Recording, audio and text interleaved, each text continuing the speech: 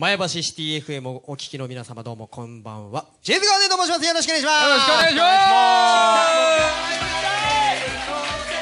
す。埼玉県にあります。コモンズカフェより公開生収録とさせていただいておりまして、皆さんの一日の中のほっとひとと、えーほっと落ち着けるひとときを、えー僕らの音楽、えートークなどで、えーぜひね、えー体験していただきたいという思いでこちらのラジオをお送りしております、えー早速大丈夫？大丈夫です、えー早速質問がね来ておりますんで、おー。えーじゃあ行きましょう。最近までやめていたけど再開したことって何かありますか？最近まで。そう最近まで。もうね何年前までやめてたけどまたちょっと一年発起してまた始めたことみたいなものをなんかあったりしますか？これはもう挙手制でいいですよ挙手制で。お山田さんはい。タバコを吸わないことをやめてたけど吸わないことをまた始めました。ああそういうことね。だ要は禁煙を、禁煙をね。禁煙を始めたんじゃないからね。お？あの喫煙をしてたのをあの禁煙をやめたの。大人になってから。大人になってから禁煙をやめたんだけど最近また禁煙を始めたでは逆逆にって言わないで。笑われてますよお客さん。わかんねえけどタバコ吸ってねってことだろ？そうそうそうそうそうそうそうわかんねえわかんねえよなんかよくわかんねえけどさそういうことだろああなあわかんねえんだよなあいつなでもどれぐらいどれぐらい経つ山田もタバコを吸わなくなことをやめてからそう吸わなく吸うことやめてからもうすぐ百日すごいすごいねえ百日って3ヶ月ぐらいやねあ3ヶ月か3ヶ月弱やね3ヶ月今日ですよ。3ヶ月超えてますよ。そうかそうか。うん。もうもうもうこっちのもんだよね。いやでもいや。最近が結構あれですよ。タバコ吸いたいな。3年だっけな？5年だっけな？3の周期。そうそうそう。なんか厳しいらしい。この衰退周期薬らしいですよ。でもあのファンの人から手紙もらったりとかしてさ、あの禁煙が一生続く続くことを祈ってますとかさ結構書いてあったりとかして、うん。ああこうねだから今までよりやめやすいですよ。じゃなるほど。あのじゃあ山田さんねちょっとまあこの質問とは別のことであのタバコを吸うことをやめてから、はい。なんか変わったことってあります？なんかよく聞くじゃないですか。食べ物が美味しくなったとか。ああ最初の23日はそれ感じたよ。あこれあの某あのーファーストフードの牛丼チェーンの最初に出てくるなんかちょっと茶色っぽい水？あれ水かと思ってたらお茶だったのね。お茶お茶お茶それは普通に味覚がおかしい。麦茶かお茶じゃない。そうそうそう。あこれ水じゃねえのか。水じゃねえよでもお金が貯まるとかさ。たまんないよ。変わんないんだよね。お金止まる止まる？いやだってタバコでさ結構。うん。今も高いでしょああそうかそういうことか。それでね。あの最初にこのスタートダッシュがさ重要だから、うんえー、となんかいタバコをやめるってことは1個我慢するわけでしょ、それでさ食べ物もさこれ食べたいとかって我慢するとなんか続かないような気がしたからあよしじゃあもう食べたいものは全部食べようと思って、逆に食べ物にお金使うように。でもそんなに太ってないもんね。逆になんか痩せましたって毎回言われてるもんね。いやタバコやめて太るっていうのは嘘やでいやなんか口が寂しくなるからね食べな食べなきゃいけないみたいなねそういうのねさ ああラジオやった。対しても盛り上がりもせず。控え室かなと思って。あ すいませんすいません。あと他になんかあの誰かなんかあります？最近までやめていたけど再開したこと。ないです。ないですね。つかないな。僕筋トレです。最近までやめてたけどまた始めたとことは筋トレです。でもなぜなぜでしょうね。筋トレした次の次の日に筋肉痛が来るんです。年やね。これはいかんな。お多いじゃない 多いかな。多いだね。多多いだね。いやでも置いていくんだよでもあの筋筋肉痛が来てることに喜びを感じようと思ってるんだけど悲しみしか感じないんですよね。多いじゃない。多いかな、うん多いでしょ。おいだね。多いだね。多い多いそうか。人はそうやって老いていくんだもんな。おいだね。そうだな、さあ、えー、いいですか？ララジオ。だからね。ラジオだからもっとポップに行こう。そうですよ。ポップに行こう。はポップティー。じゃあねこれはねちょっとね究究極じゃないですけど、難しい問題です。これはは難しい問題です。皆さん。皆様が、はい。多分ね、えー、大体週に4回ぐらいいろんな方々とデートされてると思うんですけれども、い5やね週5やねはい、週5ですか？あ週どう5ですもすいません。俺週8え週8えーねすげえな。1週間の日時を知らないやつが一人いますけれども。え ー一日に2人なんねでそうですね。そうですね。そうだ週7だったね。えデート中彼女の鼻毛が1本出ていました。あー。何と言って伝えますか？それとも見て見ぬふりをしますか？これは難しいですいやねこれもさ、まあ、付き合った年数にもよるしさ。そうね。じゃあいいよ。関係性にもよりますえーとこれね彼女のっていう表現よりも、彼女になりそうなああそこ。そう。あの要は彼女だとしたらある程度の信頼関係はあるでしょ？そうじゃなくてこうあれですよ。そいいやじゃあ学生時代に気持ちを戻しましょう。学生時代、えー高校生の時にじゃあ今度の週末デートしようかっていうものの3回目のデートの時にちょっと俺は好きなの。その好き。もちろんもちろん好きですよ。あっちは好きなの。向こうはまだちょっとわからないです。俺は好きなの。うん、でも多分こっちの方がデートに誘って あっちはあっちは。あっちはまだわからない。お前の気持ち知らねえよ。あっちの気持ちはまだわからない。そういう状態の時に、うん。こうデートに誘ってじゃあお待たせって来た時にピョって出てる状態。ど、えごめんを待った？みたいな。でちょっとちょっと長話してじゃあちょっとじゃあ行こうかっていうこの間の中明らかに みたいな。ちゃんと見えてる。見えてるレベル。あらはっきり見えちゃうレベルね。はっきりはっきり見えてるレベル。太いやつ。あの産毛？太いやつ？産毛？うーんと太いやつ。太いやつ。産産毛？じゃああのー、この会場の中にね、ん。いる方々の中で、えー今出てるってわけじゃないですけども あの言ってあげて。えーと、うん。じゃあ皆さんだとしたら注意されたい伝えてもらいたいっていう方ちょっと手挙げて。伝えてもらいたいっていう方。しかもそれあれよ。好きあのその言った状態よ。3回目のデートで自分の方でもうーん好きかもしれないなみたいな気持ちになってる時に。付き合う前だもんね。そう付き合う前。付き合う前の時に。でも見えてるわけだからね。後で家に帰家に帰る前にあれですよ多分トイレとか行くじゃないですか。うん。デート中にちょっとおトイレ行きますわって女性って何回もトイレ行くでしょ。うん。そうそうそう。あの時にバーってこう化粧直ししてる時にはあって気づくっていううんそのパターン。それを自分で気づくことの方がいいかそれとも言われた方がいいか。じゃあ言われた方がいいっていう方手挙げて。いやその言われ方にもよるんだろうけどね。嘘みんなじゃないの？はいはいはい。じゃあちょっとちょっと言わないでほしいなっていう方はどれぐらいいらっしゃいます？ああそうですね。今のところ大体ね、えーと言われたいのが、まあ、7割の言われたくないのが3割ぐらいだという感じでしょうかね。そうなんだ。まあまあまあ言い方ですよね。じゃあもういいですよ。言う 言う方向で進めますか。いう方向ね。言う方向。言う方向でだって自分がまず気づいてるし自分の好きな人が鼻毛出てる状態を他の方々にさらすのはちょっと心苦しいと。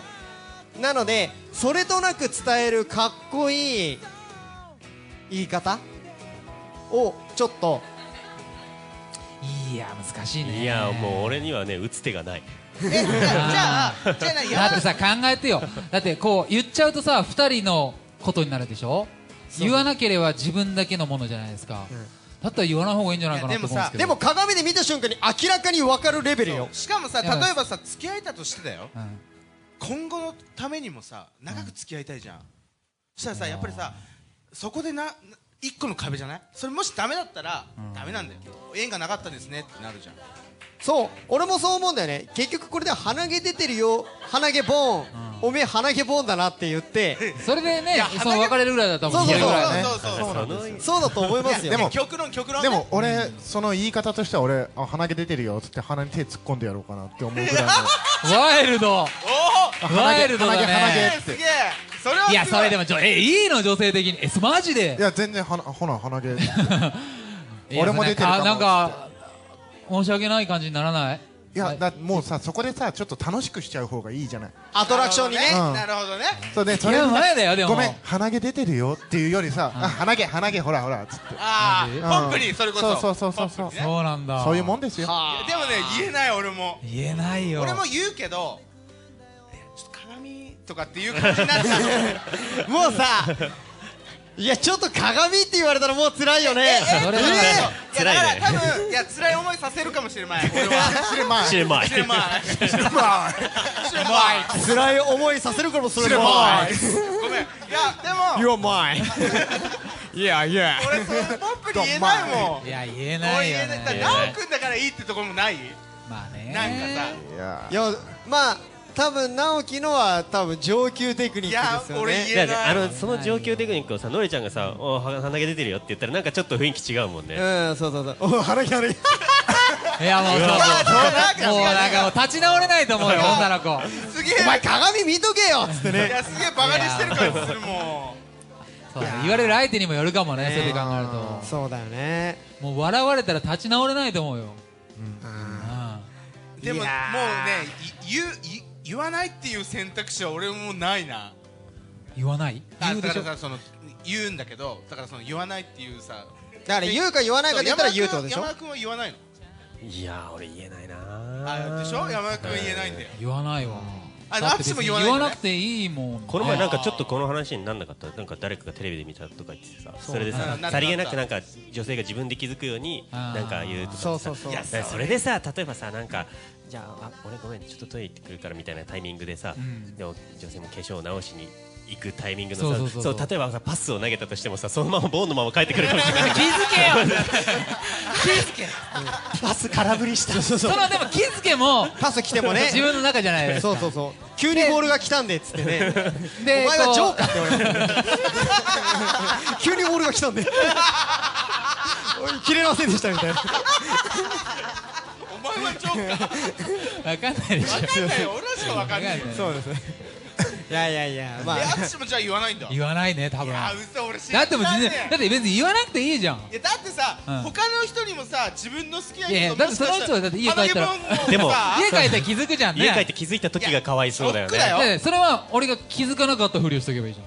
そうそうそう。いや絶だからそれがあだって真あ見られたかなって思ってるのは向こうの意見でしょ？だから俺は何何にももう何にも見なかったっていう手だったらもうお互いもうね何にもないじゃないですか言ってしまえばさもう二人の共通のなんかああの時言われたなっていうのもあるし言っちゃったなっていうなんかねじゃあ。じゃあ私さ実は家帰って鏡見たら鼻毛ボーンだったんだけどって さ言われたらさなんもしねそこそんなあそうなねの？でいい。そんななんかねあ。の鼻毛ボーンだったんだけどって言ってくる人だったら多分俺言うね。俺言うわお前鼻毛出てんぞってそういうことだって言うと思う。そうかそうかそうか。そうかそうか。あ話変わるけど変わらないけどこの前ねライブ行ったんですよ。でライブ先の担当者がめっちゃ鼻毛3本ぐらい出てたの。言います？言わない。言わない。言わないね。絶対に言わない。えそれは言わないよ。男性でしょ？男性。うん男性は言わない。で前ね女性女性の担当者がさミートソースいっぱいつけてて そんな人いない。あれは言えなかった。あれは言えなかっそんな人いない。たあれは言えなかった。どうもお待たせしましたね。ミートボーンミートボーンそんないない。毎回そこの毎回そこのライブ行くときにああのミートソースのねっていうね。やめなさいそんなことないですよ。そんなそんな方はいらっしゃいません。あいなねそんなあの豊洲にとかいませんよ。やめやめなさい。それはダメだよ。いませんそんな。どういうことですか。まあだからやっぱりその今の中で言うと直樹さんみたいに気さくにこうそのね一つのアトラクションっていうかや一つのねね。まあ大きなものと捉えるよりもちょっとしたあのお話の流れでピピピってやっちゃう方が一番いいのかなっていうところはありますよね。でもいや言ってあげた方がいいんじゃない？だって言わなくても済むじゃんね。その気にしなかったらいいんだもん。その後だってそれでね別れるんだったらまた別よ。だってそのまま鼻毛ぐらいで別れてたらもう何もならないですよ。そうそうそう。それもそうだしじゃあ逆に鼻毛ぐらいでね。そう。だから結局のところ別に鼻毛出てたところで嫌いにはなりませんから。ねそうそうそう。だって鼻毛よりまた次すげえ壁になるかもしれないよ。壁が。鼻毛逆より。にこうほっぺからめっちゃ2メートルぐらいの毛が出てたら別よ。それはさもう生活する上に支障きたすだろうからねさああのね家歩く時も気をつけなきゃいけないから。ね それは言うけど。ねえ。いやだからだから別にその鼻毛出てることで嫌いになるわけじゃないんだとしたら事実をお伝えすることの方が優しさなんじゃないかなさじゃあさって僕は思うん耳毛めっちゃ生えててさ最近耳遠いんだけどって言われたら。い やそりゃそうでしょうね。こんなに生えてるから。でしょうね そりゃそうでしょうね。ご立派ですもんね。あらご立派ですもんねーっつって。ラジオ。ラジオ。ラジオ。時間時間。すいませんすいません。すいません。えこんな話で終わり？今日。うんあの結局そうそうそう。聞いてる人多分放送事故いやかなこれもう尺的にラジオの尺超えてるからね。そうそうそう。まあまあまあじゃあもう YouTube 用ですそうなんですよね。決定ですね。いやじじゃああと30分喋りましょそうういやですまだ喋りません喋ってもいいですよだから。いやいやいややっぱねその辺はじじゃあ直樹さんの最後言ったねあの直樹さんどんな感じで言うんだっけ？ね鼻毛出てるよ。ほらほら鼻毛ちゃん。つって。鼻毛ちゃんまでつけるんですね。鼻毛ちゃん。はいいや鼻毛ちゃん。俺女の子だったらもうなんかこれこれだったらなんか笑ってへへへって言えるっていう方いらっしゃいます？あマジか。あマジーか。おいおいおい。ありがとうございあーますやっぱりこれがモテるモテないの違いですよ。ありがとうございます。そうなんですよいやいやいやいややっぱそうするんですよねいやそれは上級テクニックだよ女心は浮世の上だっなけなんだっけ女心は浮世の絵だっけわかんないよくわかんないわかんないけど女心は上の空だっけおめえの心じゃんおめえが上の空だよなんかそういうことわざあって女心と秋の空ああそれそれそれ秋の空でしょ全然関係ないでしょまあ結局ね僕も多分言えないと思うんですけどね。ねえ。うんだっ言えないと思う。デートしてんでしょ？ここ一緒に歩いててこの距離より近くに人が寄ってくることなんてないよね。だから見えないよね。でも結構見える。だって太いやつでしょ？いや。だから分からんけど。そうさ太いやつこんな太いやつないでしょ。どんな話塞がるわ。いやどこまでどこまでここまで。ここまで。それは気づけよ。そんなよ。鼻の下の皮膚に当たるほどじゃないと思うチクチクし終わろうよラジオ。ミートさっきのミートソースかな。食ってんじゃねえか結局まあということでまあねあのジェイズガーデン3人はあの言えないという。で2人は言えてでたいあの直樹さんの言い方が一番いいいんじゃないかな。大志さんのちょっと鏡っていうのはもう一番ダメだよ。ちょっと鏡見た方がいいよっていうね衝撃的だよね普通に3回目の出てて。あちょっと鏡見た方がいいよって言われたらもう。もうもうずっとその後帰りたいよね。もうもう立ち直れないね。あじゃあ鏡見るために家に帰りますって言うよそうだと思います。辛、ね、難しいこと。同じことを伝えるのにもね言い方一つで全然変わるということでね、えー、直樹さんを見習って太一さん、えー頑張っていきましょう。はい。ドンマイさあ、えー、ということでね、えーこの放送を終了といたします、えー、最後はですね、えー、ブレーズを聞きながらおお別れしたいなと思います、じゃあねバイバーイ。バイバ